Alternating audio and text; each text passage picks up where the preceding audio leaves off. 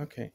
So we're going to square 77 and we get 5,929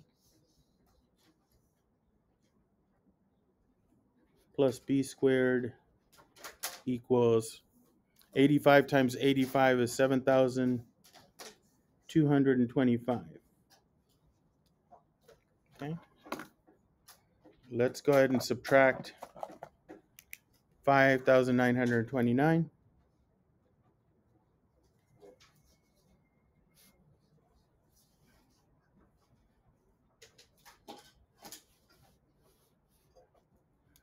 And that'll give us b squared.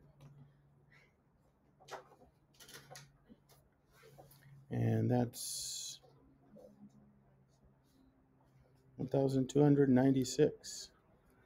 And now we'll just square root that to get b. 36? So that's going to be 36 yards. So now we know we're going to compare 85 yards to 36 yards plus 77 yards.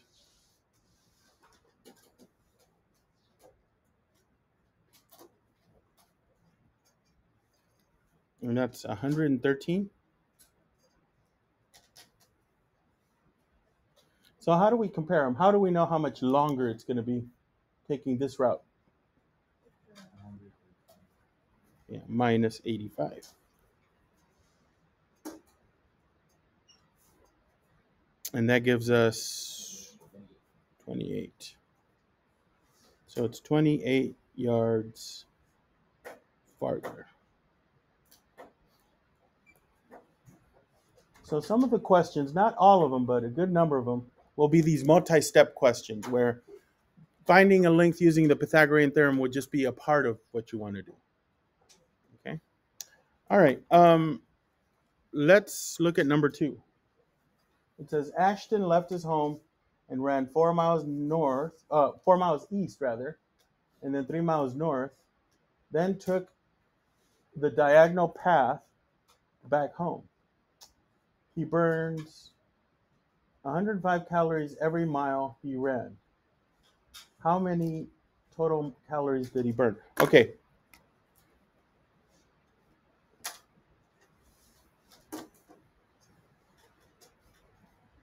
So ultimately, we want to figure out how many calories he burned. This is an old trick a teacher told me, uh, taught me. Figure out what kind of units you want to end up with so you remind yourself that's what I want to figure out. Okay, so let's figure out his route. So he went four miles east. So this is home. He went four miles east, then three miles north.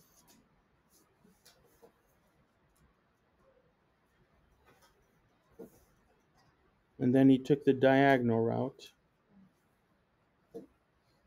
So we have to use the Pythagorean theorem to figure out that route. So this time it looks like we're finding C, right? So let's go ahead and do that. Let's find this hypotenuse. How many miles will that be? Hmm? It's five. Oh, okay. I think you're right. This is one of those special triangles. It's called a three, four, five right triangle. Three and four are the legs, and five is the hypotenuse. So now we know that. So what are we going to do with that information? We have to figure out how many total miles you.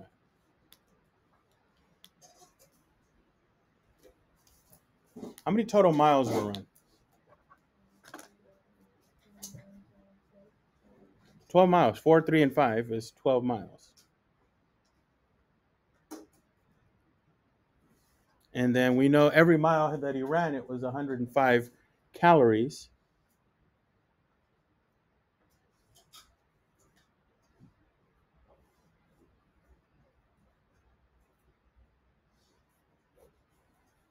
So let's figure out how much that is.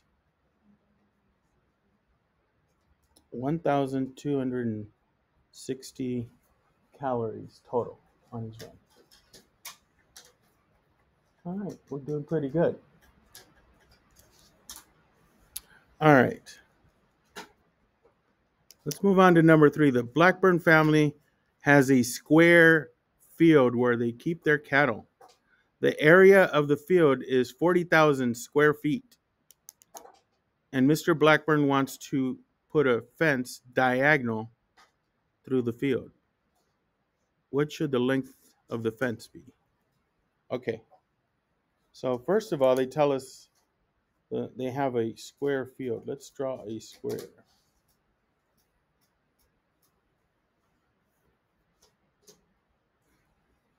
There's the field. What do they want to do on this field? What are we doing?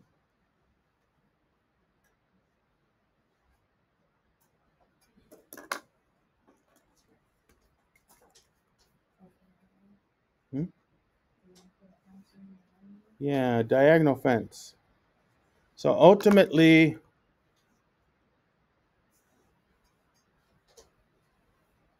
we want a fence here, and we want to know the length of the fence. But at this point, do we even know how long each side is? But we could figure it out though. They tell us something. What do they say?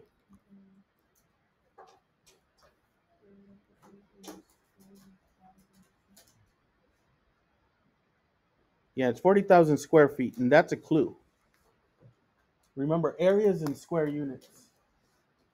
And they're telling us it's 40,000.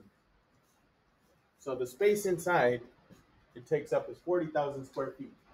There's a special thing about a square. What's unique about the sides of a square? What do we know? Hmm? They're all equal. So basically, length times length equals 40,000. So length squared equals 40,000. So if you want to find the sides of, of of a square and they tell you the area, the way you do that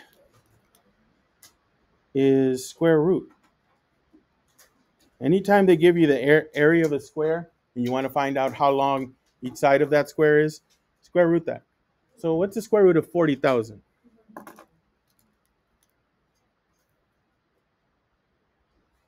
All right, 200. It's 200 feet. So this is 200 and this is 200. Okay. So now we know the length of the legs, right? 200 and 200. We could figure out with the Pythagorean theorem how long the fence is or the hypotenuse. So 200 squared plus 200 squared, excuse me, 80,000 equals c squared. So now we take the square root to find out the diagonal.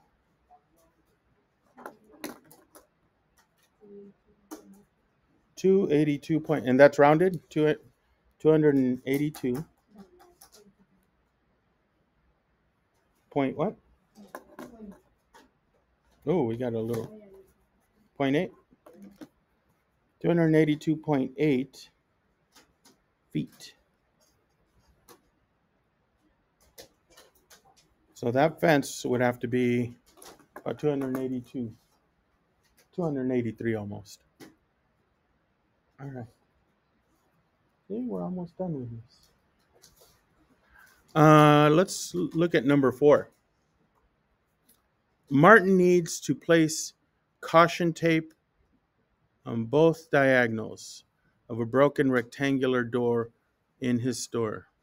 If the dimensions of the door are three feet by seven feet, how many feet of caution tape are needed? So this is caution tape, I guess.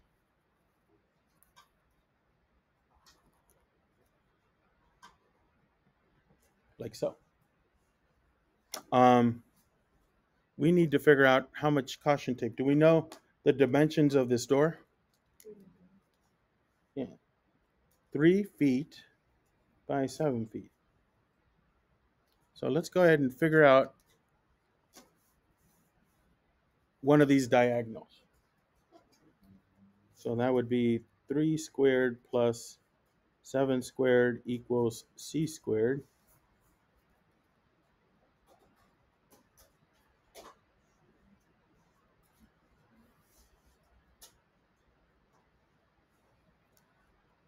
What's that, 58?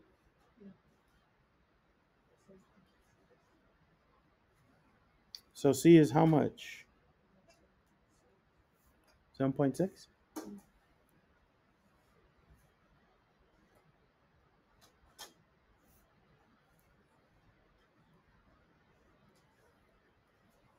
Okay. Is that the answer we want then? It's not the answer we want. It's getting us there though. What do we have to do with that 7.6 feet? Square root 58. Add what? Well, what is 7.6? What does it represent? Think about what it represents. Yeah, it represents one of these diagonals, but we he made a cross with the caution tape, so we want twice that. So we want 7.6 feet times 2. 15 point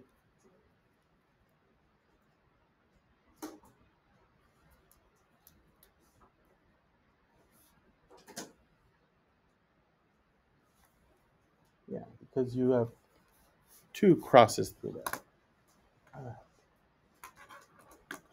okay move that up so you can see that better let's Look at number five. Tony is building a doghouse, and the front view of the roof is an isosceles triangle.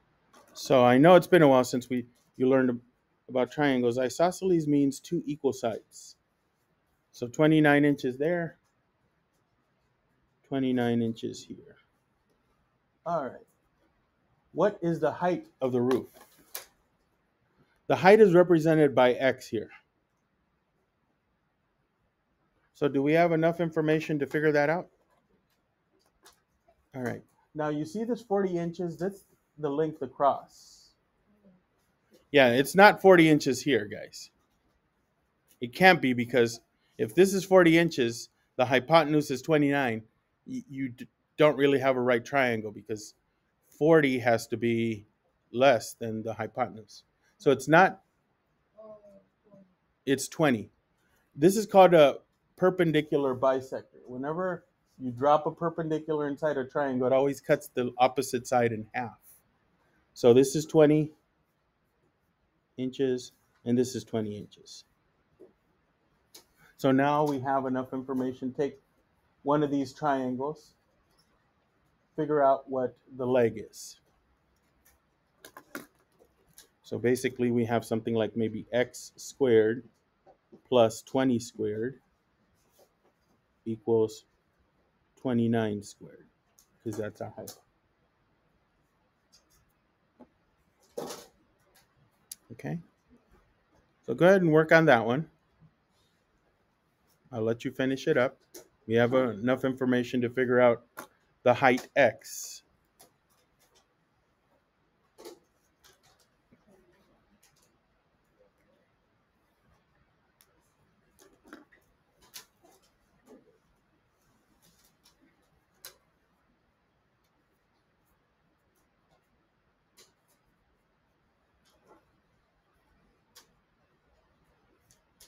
So I'll let you finish that one up.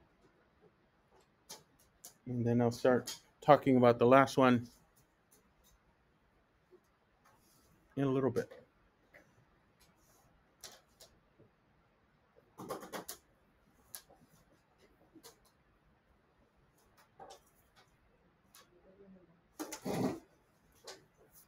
Talk about it. Okay, this is this one incorporates the most steps, but I don't think it's very hard. Um, if the area of square two, here square two, is 225 square units. So they're giving us the area. and it's 225 for this square. Okay. And the perimeter of square one, square one's this one, is 100. So I use P for perimeter equals 100. What is the area of square three?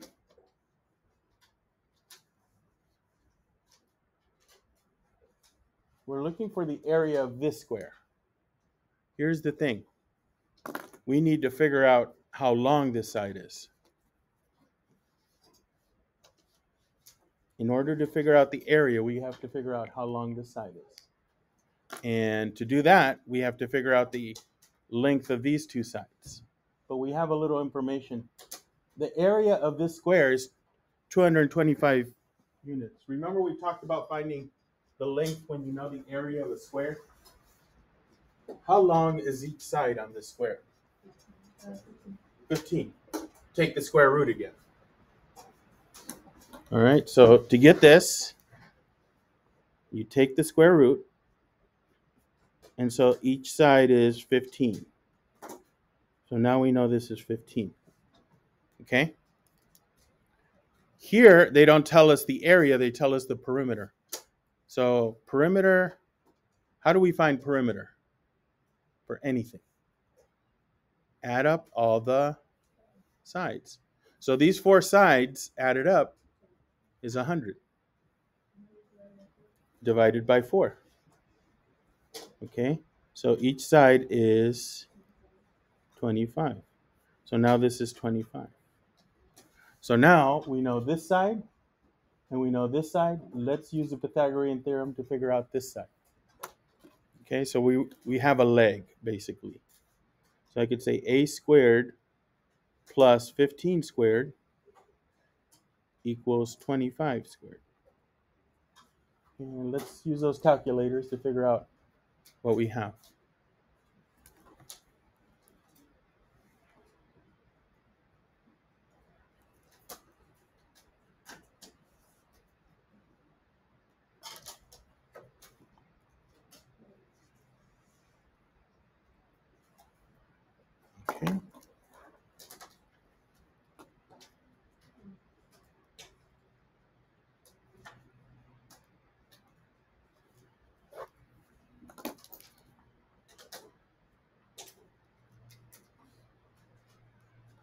So how long is each side? Or that side, I should say. What, how long is our missing side? 20. Yeah, the square root of 2. Or 400, I should say. Sorry, this is 400, not 200. It's 20. Uh, can we figure out the area of the square now? We sure can. Area is actually 20 squared. And that's 400. Okay. So the area of this square is 400 unit, square units.